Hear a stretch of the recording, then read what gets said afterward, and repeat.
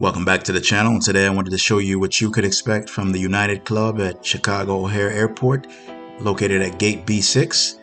Uh, this United Club is uh, it's a fairly large United Club, and it's much more open in space than the United Club at uh, George Bush International Airport in the, the B terminal. I'll leave a link for that so you can compare the two different experiences here. So you do go up the escalator and to enter this United Club is the same as others. Uh, you can enter with a United Club membership or a one day pass.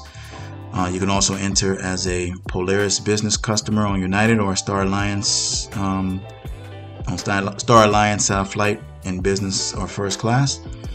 Also, a Star Alliance Gold member flying any class of service but flying internationally. You can enter this lounge. So, uh, off to the right here, you this way is the way to the bar.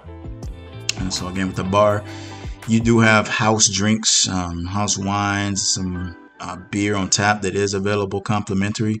Some of the I guess more premium options you'd have to pay for. So, um, but honestly, if you were flying business class internationally, I would definitely go over to uh, the C concourse where you can visit the Polaris Lounge, which I'll have a review of that coming up in a couple of days, so you can check that out, which is really nice.